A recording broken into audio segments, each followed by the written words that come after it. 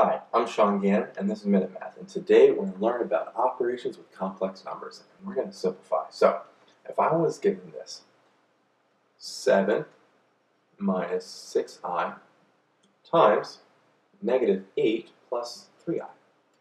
Okay? Well, what I want to do is I want to multiply all parts of my first parenthesis times all parts of my second parenthesis. You might know this as FOIL. 7 times a negative 8 is a negative 56. 7 times a 3i is a positive 21i. Now let's deal with the minus 6i. Minus 6i times a minus 8 is a positive 48i. And minus 6i times a 3i is a minus 18i squared. So now let's go simplify a little bit. Negative 56 comes down, but 21i plus 48i comes out to be a 69i. And then we subtract now 18 times, well, i squared we know is a negative 1. So this is where it's different than a normal variable in a sense. Um, i squared becomes a negative 1.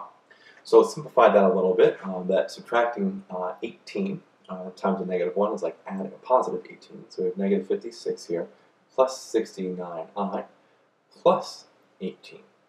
So now we want to combine a negative 56 and a positive 18, and that comes out to be a negative uh, 38. So we have negative 38 right there, plus 69i, and there we go. Our final answer here is just negative 38 plus 69i. So let's recap. We're given 7 minus 6i times negative 8 plus 3i. We distribute uh, 7 times negative 8 to get a negative 56, and 7 times a 3i to get a positive 21i. Negative 6i times a negative 8 was a positive 48i, and negative 6i times a positive 3i was a negative uh, 18i squared. i squared becomes a negative 1, and 21i plus 48i became a 69i. That minus 18 times negative 1 is the same thing as a positive 18 right here. Negative and negative go positive. So a positive 18. We combine that, positive 18, with a negative 56 to get a negative 38. So our final answer here is just negative 38 plus 69